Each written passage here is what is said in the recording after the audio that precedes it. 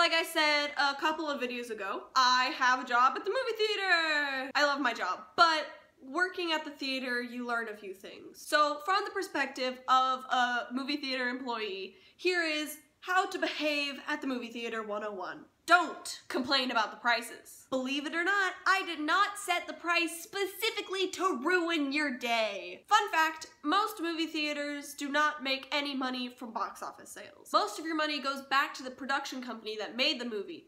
That's also why concessions are so expensive because it's really the only way we can make money. Working at a movie theater is hard. Working at a movie theater is even harder when a Marvel, Star Wars, or Disney animated movie comes out. In most movie theaters, employees don't have a lot of time to clean theaters, and there's not really a lot of leeway for bigger or smaller theaters. I'm amazed that this is something I have to tell people because I think it's just common sense. Throw away your trash! Ah! I'm not asking you to pick up every piece of popcorn, but when I have five minutes to clean a theater and four of those minutes go into picking up drinks and popcorns and nacho trays that people just decided they could leave on their seats, I don't have a lot of time to do the actual cleaning. Not exaggerating, some of the worst days of my life were when I had to clean up theaters for Black Panther, Infinity War, and Last Jedi. I feel like this one is also common sense. In fact, I feel like most of the items on this list are common sense. I've learned a lot of people apparently don't have common sense. So, don't call the movie theater to ask for movie times. We live in a time where smartphones are more accessible and more common than other phones. So when a person calls to a theater and asks what time a movie is showing, or if the new Dwayne The Rock Johnson movie is out, I assume nine times out of ten that they're on a smartphone. Smartphones have access to the internet! I promise I'm not a jerk. It's just when you have to deal with these things on top of, of, of so many other things and just, it wears you down.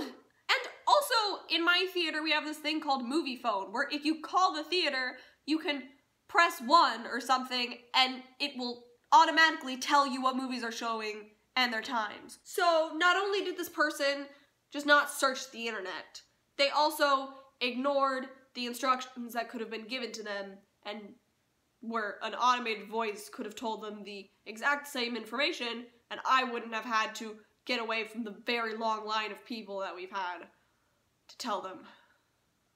Don't use your phone in a theater or just turn the brightness down or sit in the back.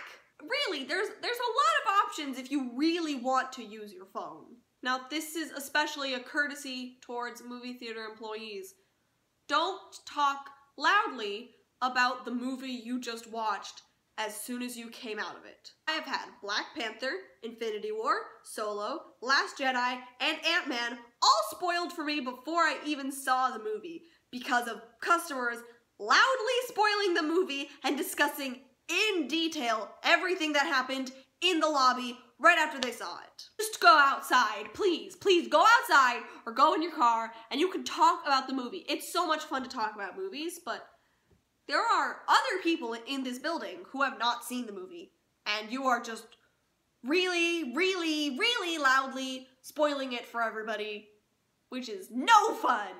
Now, I talked a lot about common sense in this video, but I feel like this one just takes the cake. Don't drink the popcorn butter. The year 2017, Black Panther was just released. The movie theater is full filled with excited employees and excited customers ready to see this brilliant new Marvel film.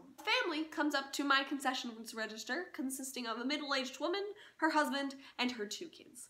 They order a popcorn, they order some drinks, whatever. The lady asks for a courtesy cup. Now at my theater, we're not allowed to give out extra bags or anything because like that's just how we do it, but we can give out like little six ounce courtesy cups for like water or sharing popcorn, you know, just stuff like that. I think nothing of it. I give the lady the courtesy cup and they're on their way. Now at my theater, you can do the buttering yourself. You can put as much or as little butter on there as you want. It's all in your hands. But the downside of this is that sometimes people just just make a mess. Just an absolute mess of the buttering station. This is one of those times. So I have left my register and I am the heroic person of the concession staff to go clean the buttering station. So as I'm cleaning the butter station, the same lady comes up with her courtesy cup and to the butter station. Don't think too much of it. Sometimes people like putting butter in a cup and then they kind of like pour it on their popcorn as they eat it, you know, kind of spread out the butter. The lady fills up the whole courtesy cup with popcorn butter. This is when I have to put up a little warning. If you are eating or have recently eaten or you have a weak stomach, maybe you don't want to watch the rest of this video right now. Wait a few hours, then finish it. The lady has filled up her cup with popcorn butter. I'm standing there going, yeah, you go, lady. You butter your popcorn and it's gonna be so delicious and you're gonna life hack your way out of this popcorn. She stands there and she drinks it. She drinks the entire cup of popcorn butter! Ah! Now, it's no secret that popcorn butter is not the best for you. It's not poisonous, it's not deadly, but it's not the healthiest thing. So I am staring at this lady, just gobsmacked at what I've just witnessed. She just walks away, joins her family back in the theater. So I'm a little shaken and very confused, and so I just finish cleaning the butter station and I head back to my register and then one of the managers asks me to go check the women's bathrooms because we have no female ushers so I say yes absolutely so I walk into one of the ladies bathroom and I, I just hear retching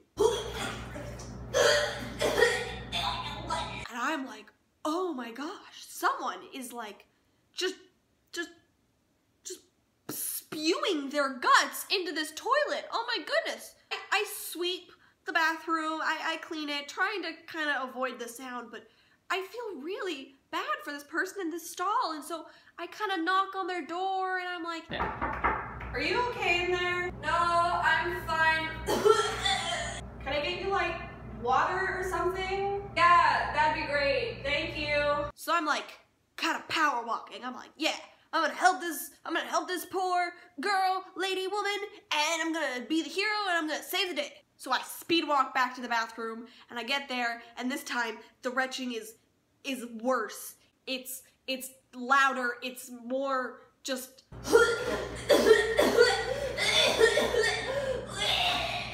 heartier vomit. So I'm power walking back to the bathroom stall and I knock on the door. Hey, I got your water. Guess who it is? I bet you can't guess who it is. Guess who it was. Get guess get guess who it was.